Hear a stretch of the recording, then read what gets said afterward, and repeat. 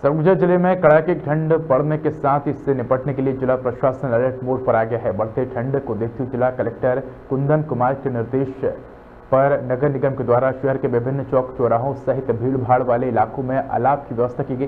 वही ठंड को लेकर की गई व्यवस्थाओं का प्रशासनिक अधिकारियों ने जायजा लिया। इसी क्रम में बीती देर रात मेडिकल कॉलेज अस्पताल पहुँचे कलेक्टर कुंदन कुमार और एसडीएम शिवानी जायसवाल ने व्यवस्थाओं का जायजा लिया। इसके साथ ही दूर दराज से अस्पताल में भर्ती मरीजों के परिजनों को गर्म कपड़ों को बांटा और उनका हालचाल जाना।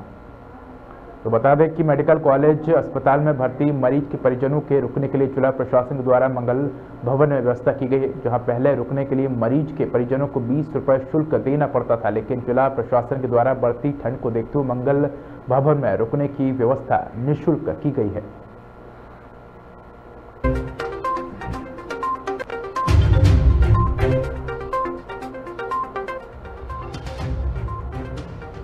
बढ़ती हुई ठंड को देख के जो है अभी पूरे शहर का दौरा कर रहा था सभी अधिकारी भी साथ में हैं। और जहाँ जहाँ पे भी इस तरह से जो निडी लोग हैं जिनको कंबल की ज़रूरत है गर्म कपड़े की ज़रूरत है उनको हमारे सारे प्रशासन के अधिकारियों ने कंबल बांटा है। आ, मैं जिला चिकित्सालय अभी आया हुआ था तो वहाँ पर जितने भी लोग जो बाहर में सो रहे थे जो उनके पेशेंट के जो अटेंडेंट थे उनको भी अग्रवाल सदन में सेवा सदन में उनको शिफ्ट किया गया है। और अभी जो है वो निशुल्क उनको सेवा दी जाएगी।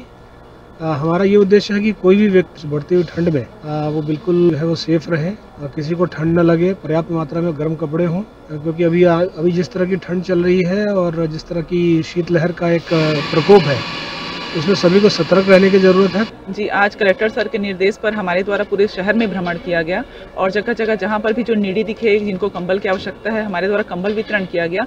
इसी के तारतम्य में जिला अस्पताल में वितरण किया गया। ऐसे जो मरीज़ के अटेंडेंट हैं, जो सिंपल चादर के साथ घूम रहे थे उनको कंबल का वितरण किया गया। साथ ही पूरे वार्डों में निरीक्षण किया गया कि किसी को मरीज़ को पर्याप्त गर्म कपड़े हैं या नहीं है, या वार्ड की क्या व्यवस्था है, सफ़ाई है कि नहीं है। और साथ में विद्युत की क्या व्यवस्था है? ये सारा निरीक्षण किया गया। निरीक्षण में सारी व्यवस्थाएँ संतोषजनक पाई गई।